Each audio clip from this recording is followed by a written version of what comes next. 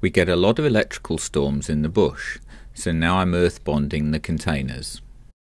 I got 6mm earth wire, bonding rods that are 1.4 metres long, and the clips that join them.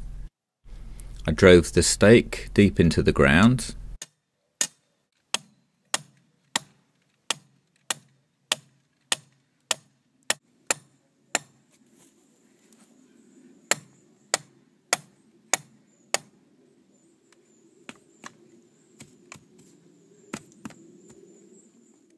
I ground a patch of container back to bare metal and joined it to the rod.